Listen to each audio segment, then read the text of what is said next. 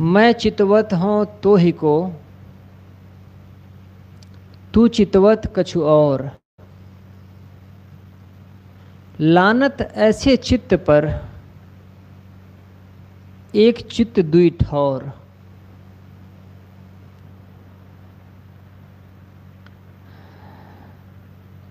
सदगुरु कहते हैं, मैं चितवत हूँ तो ही को मैं तेरी तरफ़ देखता हूँ, ऐ शिष्य, और तू चितवत कछुऔर तुम, तुम्हारा मन कहीं और लगा है? तुम कहीं और देखने पे लगे हुए हो? लानत लानत है, धिक्कार है। लानत अरबी का शब्द है। ऐसे चित्त पर, ऐसे चित्त को धिक्कार है, जो दिखावा करता है कि मैं हाँ गुरु जी हाँ गुरु जी मैं आपके साथ हूँ। और उस दिल में संसार की ख्वाहिशें भरी हुई हैं। लानत है ऐसे चित्त को, जो दो जगहों पर लगा हुआ है। अभी श्री रमेश साहब जी कह रहे थे, कबीर साहब ने कितना साहस दिया। कोई एक कबीर की बात नहीं है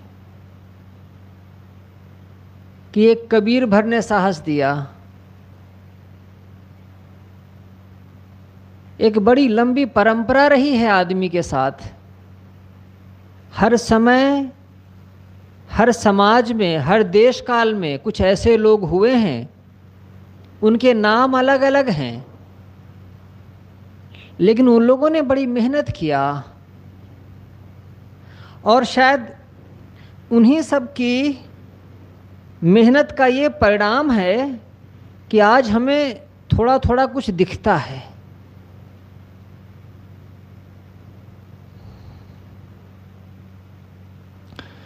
पुस्तकों से जीवन नहीं चलता।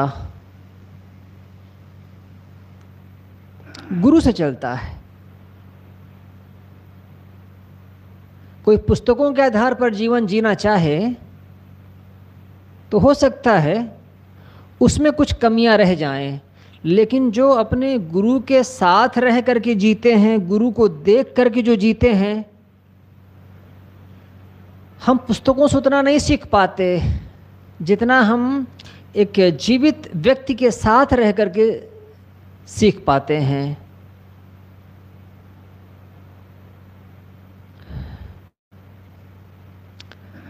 आदमी तो बहुत बेहतर है ना? पेड़ पौधे तो कम बेहतर माने जाएँगे। मैं एक छोटी सी बात कहूँ, एक छोटा उदाहरण दूँ। एक बेल होती है। बेल उसे कहते हैं जिसकी रीढ़ नहीं होती है, उसमें हड्डी नहीं होती है, वो लचीली होती है, वो कोमल होती है। बेल को अगर आप ऊँचे चढ़ाना चाहें तो अपने बल पर बेल नहीं चढ़ सकती है। हाँ उसको किसी पेड़ का सहारा मिल जाए, या कोई सूखा लकड़ी का कोई हिस्सा ही लगा हो या लोहा हो, सीढ़ी हो, कुछ भी हो, उसको लपेट दो उसमें, बस। वो बेल उसी के सहारे चढ़ते चढ़ते ऊपर तक पहुँच जाएगी।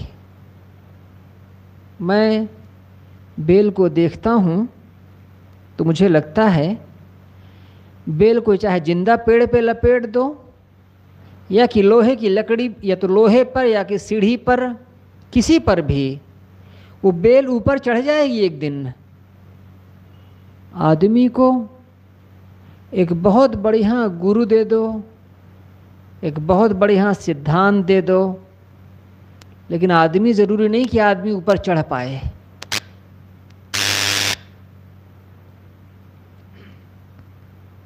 बेल में तो कोई जान नहीं है, कोई जीवन नहीं है, लोग कहेंगे, लेकिन फिर भी बेल छत पर चढ़ जाती है। और आदमी इतना होशियार, इतना कुशल, एक गुरु के साथ रहता है और गुरु को झूठ कर जाता है।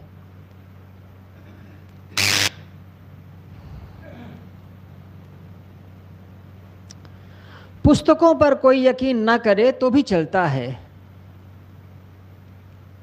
क्योंकि पुस्तकें लिखने वाले गुरु भी हो सकते हैं और नॉन गुरु भी हो सकते हैं। हो सकता है उनका कोई अनुभव ना हो, लेकिन उनमें काव्य की शक्ति हो तो एक अच्छा सा ग्रंथ लिख दें।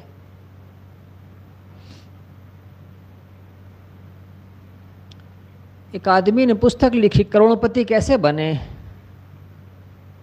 और उसकी ढेरों प्रतियाँ बिक गईं। जब लोगों ने सोचा इसके लेखक से मिला जाए। जिसने इस पुस्तक को लिखा है, करोड़पति कैसे बने, उस लेखक से मिला जाए भाई। उसने अपने अनुभव से लिखा होगा। तो पता पूछते पूछते जब एक घर पे गए तो चप्पल फटकारते हुए एक आदमी आकर दरवाज़ा खोला। उन्होंने सोचा कि नौकर होगा तो उन्होंने पूछा, हमें उस लेखक से मिलना है? वो हाँफते हुए बोला हाँ बताइए, मैं ही हूँ, मैंने ही लिखा है। उनने कहा, तुम्हारी हालत तो लखपति की भी नहीं है। उसने कहा हाँ नहीं है, पर मैंने अपने अनुभव से सीखा है। तो हो सकता है कि आप करोड़पति ना हो, लेकिन आप करोड़पति दूसरे को बनाने की कला जानते हो। ऐसा संभव है। आप में काव्यात्मक शक्ति है तो आप काव्य लिख सकते हैं। हो सकता है उससे दूसरों को लाभ हो जाए। और गुरु गुरु ऐसे होते हैं कि उनमें कोई काव्यात्मक शक्ति ना भी हो और बड़े वो सरल हों, करीब भी हो सकता है हों, लेकिन उनके साथ रहने का एक अपना सौंदर्य है। हमारे एक साथी हैं, लगभग बराबर की उम्र के हैं तो वो घूमते रहते हैं। इधर उधर जाते रहते हैं। मैंने एक दफ़े उनसे कहा कि आप अपने गुरुजी के साथ क्यों नहीं रहते हैं? उन्होंने कहा, हमारे गुरु अपने को गुरु मानते ही नहीं हैं। उनके साथ रहना बहुत कठिन है। वो कपड़ा नहीं धुलवाते हैं, खाना नहीं बनवाते हैं, सब काम अपने से कर लेते हैं। किसी से मिलने जाना हो, पंद्रह, सोलह, अठारह, बीस किलोमीटर भी तो पैदल चले जाएँगे, मिल लेंगे, बात कर लेंगे, मिल करके चले आएँगे, बस और गाड़ी को हाथ नहीं देंगे। वो कभी किसी से कुछ चाहते ही नहीं हैं। उन्होंने कहा, ऐसे आदमी के साथ रहना बड़ा मुश्किल है। वो कुछ चाहता ही नहीं है। समय से जा जा करके मिल लेता हूँ, बस इतना ही करता हूँ। रह नहीं पाता उनके, रह नहीं सकता ये मेरी कमज़ोरी है। इसीलिए पुस्तक से ज्ञान लेना आसान है, बजाय कि गुरु के, क्योंकि गुरु जीवित है। वो अपने अनुसार तुम्हें ढालेगा। और पुस्तक से ये सुविधा है कि जैसे चाहो वैसे अपने को ढाल लो, पुस्तक कुछ बोलेगी नहीं।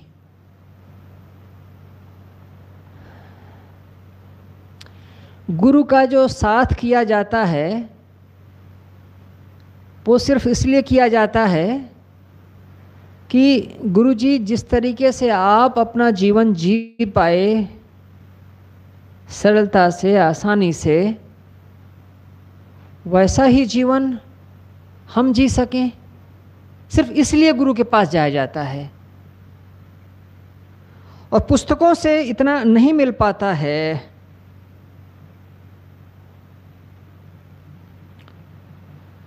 कबीर साहब के पास कोई जिज्ञासु गया हो और उसने देखा हो कि इनके साथ रहना अच्छा है, इनसे हम कुछ सीख सकेंगे, लेकिन मन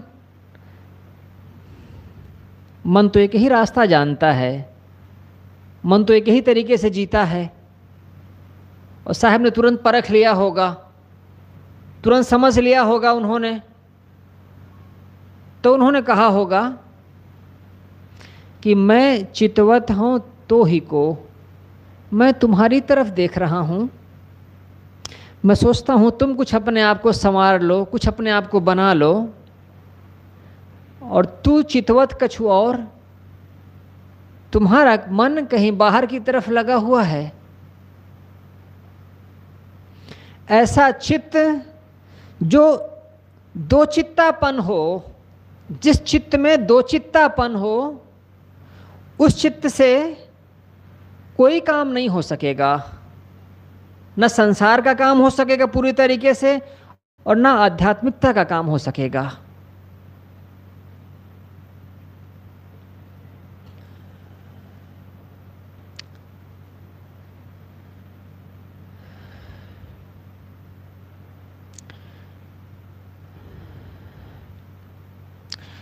अगर कोई किसी यात्रा पर निकलता हो तो वो कहीं ना कहीं ज़रूर पहुंचेगा।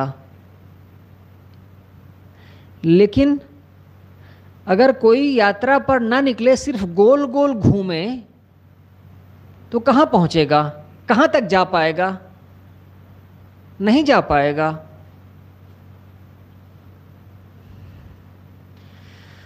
हम सब कुछ अपने मन का चाहते हैं। मन का गुरु मिल जाए, मन की चीज़ें मिल जाए, मन की पुस्तकें मिल जाएँ और हम अपनी मर्ज़ी से जी सकें बस।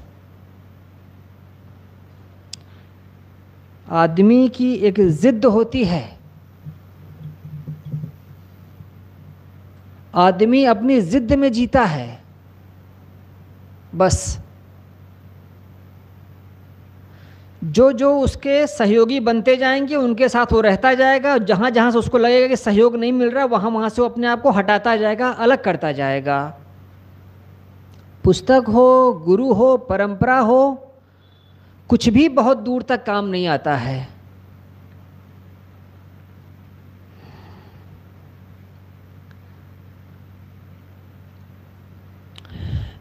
खलील जबरान की एक कहानी है।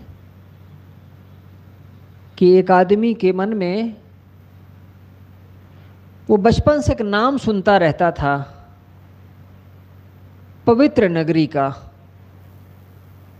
एक ऐसा नगर है जो बहुत पवित्र है। वो बचपन से नाम सुनता था तो एक दफ़े वो सोचा कि मुझे जाना चाहिए। उसने तैयारी की कुछ पुस्तकों में पढ़ा कि वो जगह कहाँ पर है और वो पवित्र नगर के लिए निकल पड़ा। कई दिनों की यात्रा के बाद थका हारा वो एक नगर में पहुँचा, जहाँ पर बोर्ड में लिखा हुआ था, होली सिटी,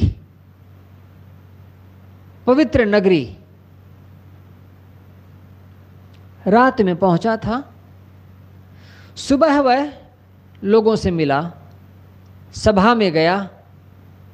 जाकर उसने देखा कि यहाँ तो जो भी दिखते हैं, उनकी दाई आँख नहीं है और उनके दाया पैर नहीं है।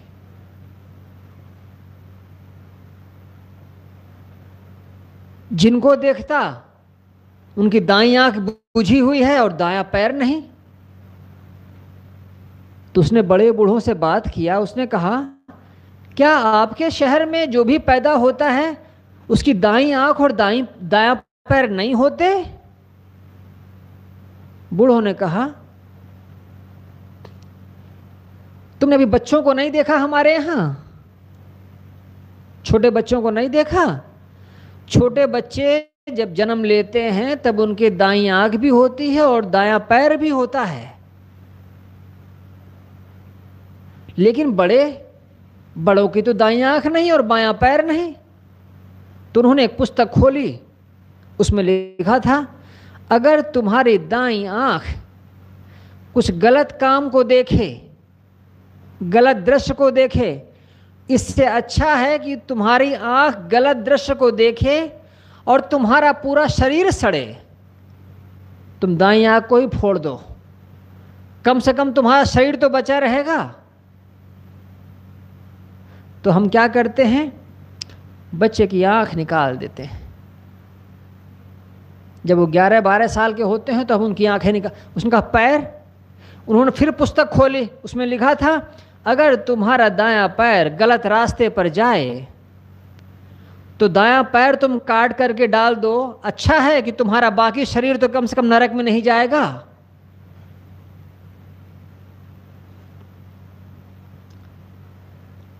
तुम नहीं जानते हो? ये पवित्र नगरी है। हम धर्मशास्त्र के अनुसार पर जीते हैं। और तब सब उसकी तरफ़ उसके शरीर की तरफ़ देखने लगे, क्योंकि उसकी दाई आँख भी थी और उसका दाया पैर भी था। उन्होंने कहा, तुम तुम कब पवित्र होगे? ये तुम्हारी आँख है जो तुम्हारे पैर हैं, ये तुम्हारे गलत रास्ते का संकेत करती हैं।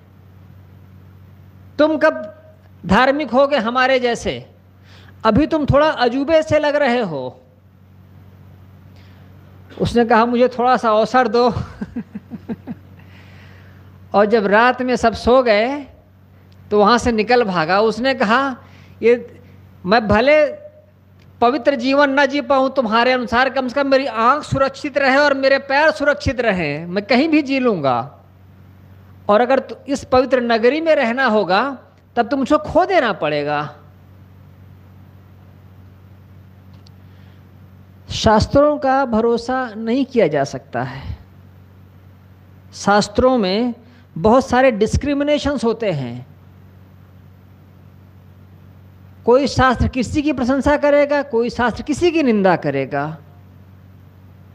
और शास्त्रों की सबसे बड़ी कमी ये है कि एक शास्त्र में जो बात लिख दी जाती है, शास्त्र अपने आप उसको नहीं काट सकता। अपने आप ही शास्त्र अपने को संशोधित नहीं कर सकता।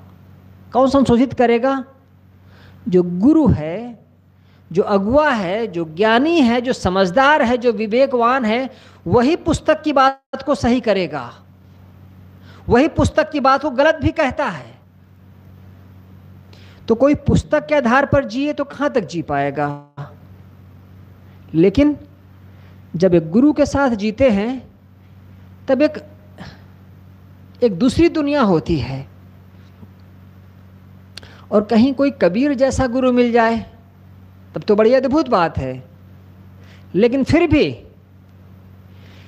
ऐसे गुरु के साथ रहते हुए भी साधक का मन और साधक का चित्त संसार की तरफ़ भागता है।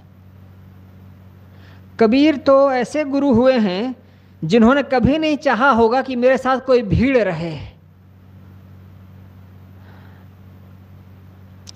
एक आदमी रहे, पर्याप्त है, लेकिन वो उन्हीं के जैसा हो। मुझे नहीं लगता है कि जब साहब ने काशी छोड़ करके मगहर जाना स्वीकारा होगा तो उनके साथ बहुत लोग गए होंगे। ऐसा नहीं हुआ होगा। कोई एक दो ही गए हों उनके साथ गए होंगे। ऐसा नहीं कहीं लिखा मिलता है कि कबीर जब गए हैं तो उनके साथ बहुत से लोग गए हैं। नहीं लिखा मिलता। लाओ से जब नब्बे बरस की उम्र में अपना शहर छोड़ करके गए हैं तो भी एकदम अकेले ही गए हैं। ये जो अध्यात्म का रास्ता है ये रास्ता अकेले चलने का रास्ता है और अपनी आँखों से देख करके चलने का रास्ता है। ये भीड़ वाला रास्ता है नहीं।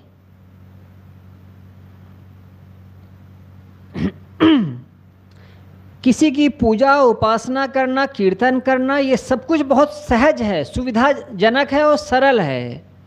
लेकिन अपनी आँखों से देख करके जीवन जीना बहुत मुश्किल है। गुरु के साथ, जीवित गुरु के साथ रह करके उनके अनुसार जी पाना वो भी मुश्किल होता है। वो गुरु भले कबीर जैसा क्यों ना हो।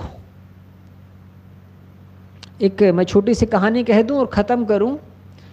एक बार एक आदमी चर्च में दरवाज़ा खटखटाया तो ईसाई पादरी भीतर था, उसने दरवाज़ा खोला। देखा, एक आदमी जिसकी, जिसके दोनों हथेलियों से खून बह रहा है, गांठ से खून बह रहा है, मुरझाया है, जवान है भी वो, उसके बाल बिखरे बिखरे से हैं। वो झांकता है दरवाजे से। ईसाई पादरी अच्छा खासा हस्ट पुष्ट मोटा तगड़ा कैसे आना हुआ? कौन हो? उस आदमी ने कहा, मुझे नहीं पहचानते। पहचानो मुझे। उसने मैं चश्मा ठीक किया और देखा, उसकी हथेलियों में जैसे किसी ने कील गाड़ रखी रही हो। पैरों में कील गाड़ रखी थी, वो घाव ताजे थे। पादरी ने कहा तुम तुम ईसा मसीह तो नहीं हो। तुम ईसा तो नहीं हो। उस आगंतुक ने कहा, तुमने सही पहचाना। मैं वही हूँ। सूली से उतर करके सीधे चला रहा हूँ तुम्हारे पास। तुमको बचाने के लिए, तुमको समझाने के लिए कि तुम क्या नाटक कर रखे हो मेरे नाम पर। ईसाई पादरी ने कहा, वो चौका, वो पुरोहित था। वो धंधा करता था। उसने कहा, चुपचाप चले जाओ, क्रॉस पे चढ़ जाओ, नहीं तो ठीक नहीं होगा। हम जो कर रहे हैं, वो हमें करने दो। हम तुम्हारे अनुसार नहीं चलते, हम अपने परंपरा के अनुसार चलते हैं। तुम वहीं टंग जाओ, दीवार पे अच्छे लगते हो। आपने देखा है, जब गुरु ज़िंदा रहता है तो ज़्यादा जगह घेरते हैं। और जब चले जाते हैं तब तब एक बाई एक की जगह जगह घेरते हैं बस। कहीं भी लगा दो। वहाँ से वो कोई मना ही नहीं करेंगे। मुस्कुराते ही रहेंगे। तुम चाहे जो कुछ करो, चाहे जैसे जियो।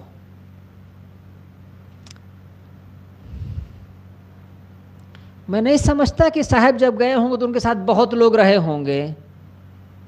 अकेले की ही यात्रा है अध्यात्म। और जब कोई किसी को समझाना, बताना चाहता है, नहीं, भीतर, मैंने कहा ना, आदमी की बहुत जिद्द होती है। आदमी अपनी जिद्द से जीता है, बस। भले कहीं पड़ा रहे, भले उसका जीवन कैसे भी चला जाए, लेकिन वो वो अपनी ज़िद्द के अनुसार जीता है, ना गुरु के अनुसार जीता है, और ना सदवचनों के अनुसार जीता है। लेकिन आदमी की यही खूबसूरती भी है। आदमी की यही अच्छाई भी है कि कोई भी सीमा आदमी के लिए अंतिम सीमा नहीं है। शास्त्रों में तो लिखा है, समुंदर पार मत करना। शास्त्रों में तो लिखा है, अपना नगर छोड़ करके मत जाना। नाविक समुंदर पार कर जाते हैं। वैज्ञानिक रॉकेट से पृथ्वी पार कर जाते हैं। ये क्या है? इसको समझते हैं क्या है ये? ये सिर्फ़ और सिर्फ़ आदमी की जिद है, कुछ और कर जाने की, कुछ और पाने की। इसमें दोनों चीज़ें छिपी हैं। नकारात्मकता भी है और सकारात्मकता भी है। बुद्ध एक बार प्रवचन कर रहे थे। उन्होंने कुछ बोला। तो लोग बीच सभा में खड़े हो गए, ब्राह्मण थे। बीच सभा में खड़े हो गए। उन्होंने कहा, आप जो कहते हैं, ये तो शास्त्रों के विरोध में है। ये तो शास्त्रों में नहीं है। बुद्ध ने कहा, अपने शास्त्रों में लिख लो। मैं जो कहता हूँ, तुम्हारे शास्त्रों में नहीं है अपने शास्त्रों में उसको नोट कर लो।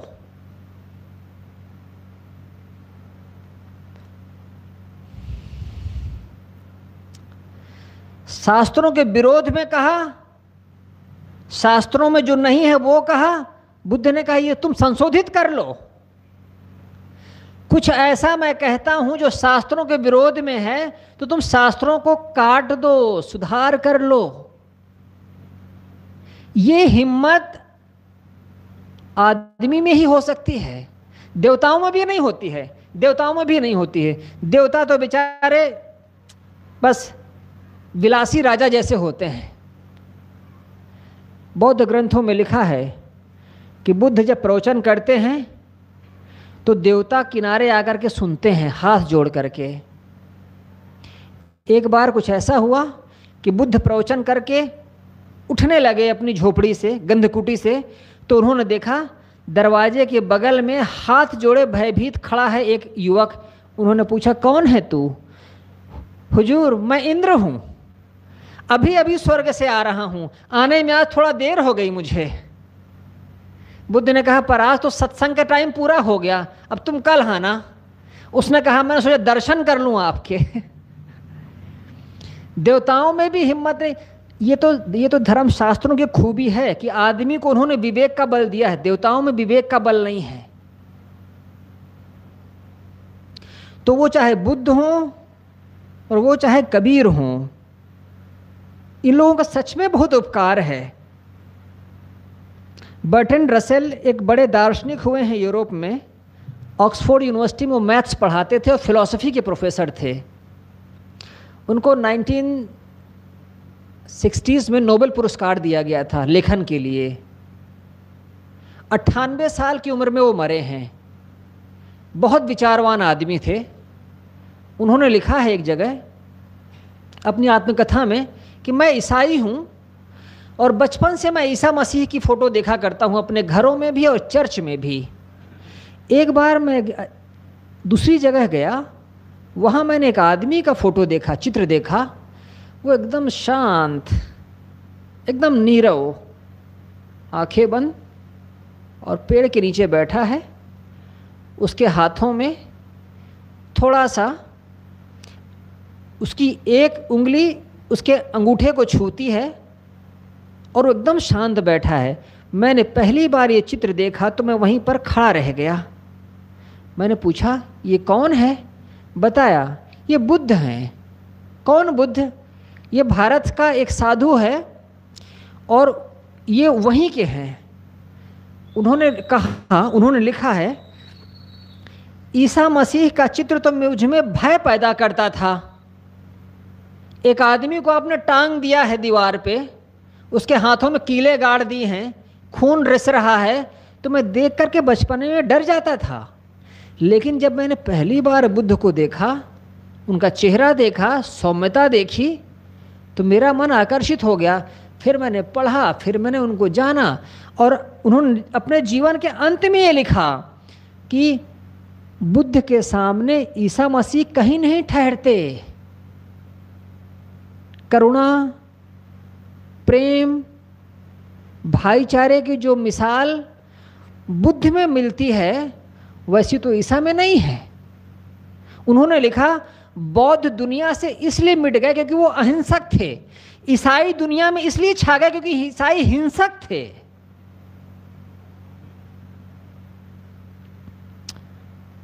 बटन रसल ने लिखा, ईसाई दुनिया में छा गए क्योंकि अंग्रेज़ जहाँ गए, वहाँ वो तलवार लेकर के गए। तो उन्होंने अपने धर्म का प्रचार किया। जो ईसाई बन जाएगा, उसको छोड़ दिया जाएगा। जो ईसाई नहीं बनेगा उसे मार दिया जाएगा। बुद्ध के अनुगामी, बुद्ध के अनुयायी तलवार नहीं उठा पाए, इसलिए उन्हें हिंदुस्तान छोड़ना पड़ गया। ये उन्होंने लिखा। उन्होंने कहा, इसमें बुद्ध की कोई हानि नहीं है, उनका बड़प्पन है, कि उनके शिष्यों ने तलवार नहीं उठाई। भले वो हिंदुस्तान से बाहर हो गए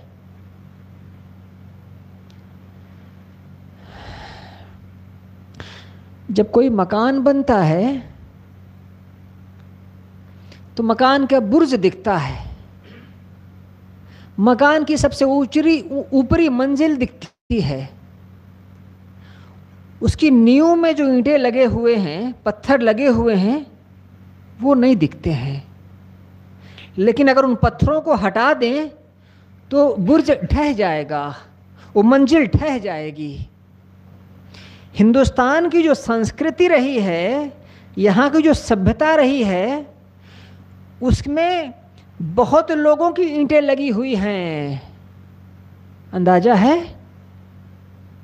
हम व्हाट्सएप के ज़माने के लोग हैं, कोई अंदाज़ा नहीं है। हम वो पढ़ते हैं जो हमारी सरकार या हमारे निठल्ले कर, पत्रकार सुनाते हैं, बताते हैं, उतना ही हम जानते हैं। इस देश को बनाने में मैं आपसे बताऊँ, बहुत से राष्ट्र ऐसे हैं जो हिंदुस्तान के जितने पुराने हैं, उनकी सभ्यताएँ मिट गईं। क्यों? उन लोगों ने तलवार उठा लिया और मिट गए। हिंदुस्तान में क्या हुआ? तलवार नहीं उठाया। जब कोई आया, उसको गले लगाया उन्होंने और कुछ दिनों में वो अपना भूल गए। लोग पूछते हैं, मुसलमान कैसे रह गए हिंदुस्तान में? मुसलमान हिंदुस्तान में इसलिए रह गए कि हिंदुस्तान ने उनको अपना लिया था। तो जब वो लूटने तो आए थे, लेकिन फिर लूट का हिस्सा कहीं बाहर नहीं गया। फिर वो यहीं रह गया, फिर यहीं के हो गए। ये कहीं और नहीं देखने में आता, ये सिर्फ़ इसी देश को देखने को आता है। ये जो हम कहते हैं कि हिंदुओं का है हिंदुस्तान, ये हिंदुओं का हिंदुस्तान हम आज कहते हैं। इसकी अगर आप ईंटों को देखेंगे तो जिस जिस, जैसी इसकी नींव है, उस नींव में सबका सबका, सबकी हिस्सेदारी है। ये देश कोई अभी नहीं बन गया। बुद्ध, मैं ये आश्चर्य करता हूँ कि कबीर साहब के समय में मुसलमान जस्ट आए ही थे। लेकिन कबीर साहब ने कभी ये नहीं कहा कि तुर्कों को भगाना या तुर्कों को मलेच्छ कहा, नहीं कहा। जब समझाया तो हिंदुओं को भी समझाया और तुर्कों को भी समझाया। सबको समझाया। यह नहीं बंटवारा किया कि तुर्क तो बाहर ही इनको भगाओ।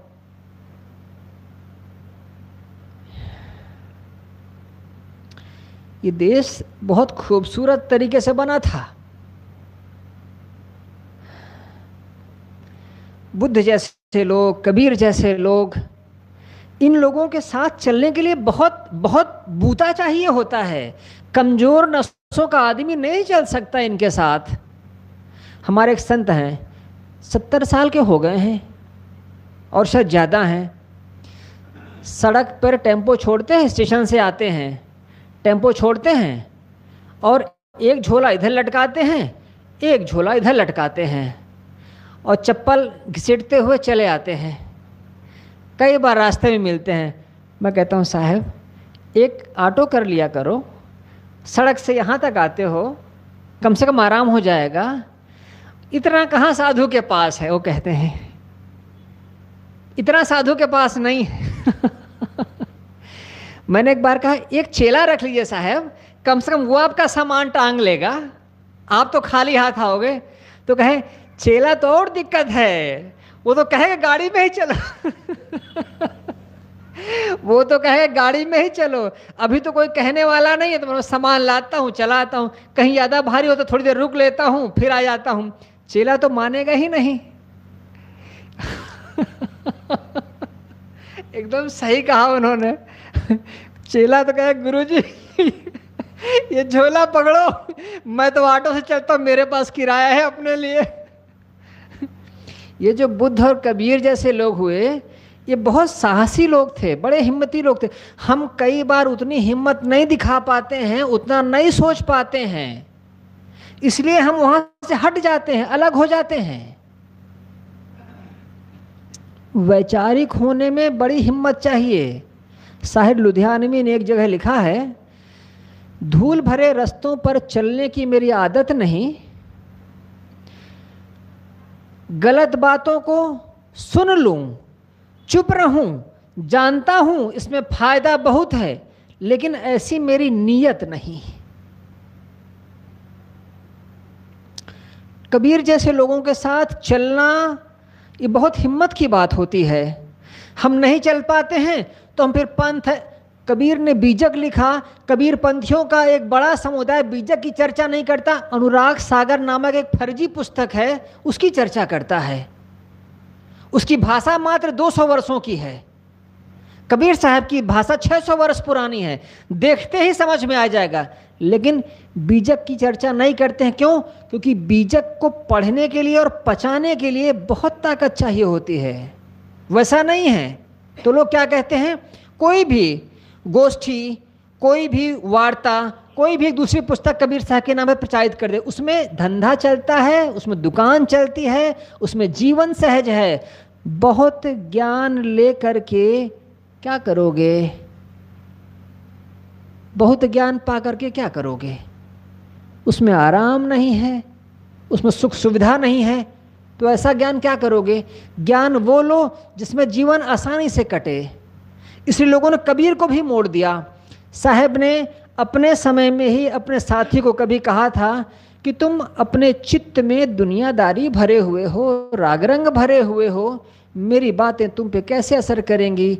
ये बातें हर समय में, हर काल में एक सच्चे गुरु ने एक अपने शिष्य को कहा होगा। और ये समस्या तब भी थी ये समस्या आज भी जायज़ है। कुछ थोड़ी बातें मैं कह सका अपनी बात को यहीं पर विराम देता हूँ। बोलिए सदगुरुदेव की जय।